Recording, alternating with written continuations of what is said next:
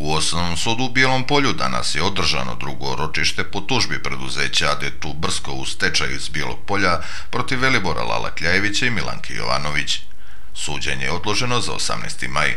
Kako stoji u tužbi, Brskovih tereti za zloupotrebu službenog položaja i prevaru privredi, jer su na štetu preduzeća protivpravno potpisali ugovor o zakupu sa komercijalnom bankom AD Budva i napravili štetu preduzeću od skoro 20.000 eura.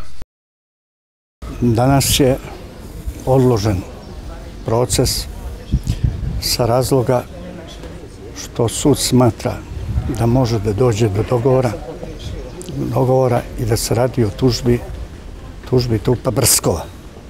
I zakazato je za 18.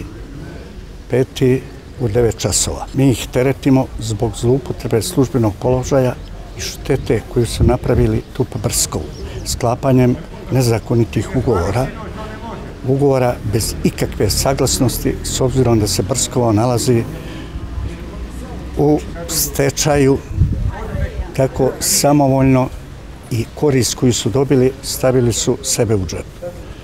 Naravno, radi se o zakupu nekom čini mi se. Radi se o zakupu poslovnog prostora Tupa Brskova.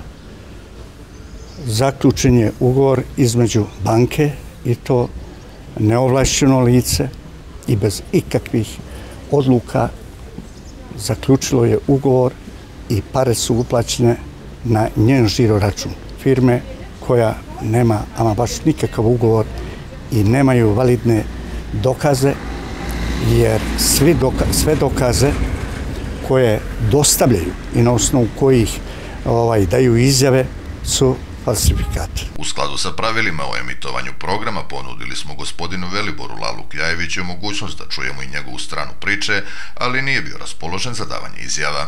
Što se radi? Kako da nećeš? Ti kako izjava? Neću, neću da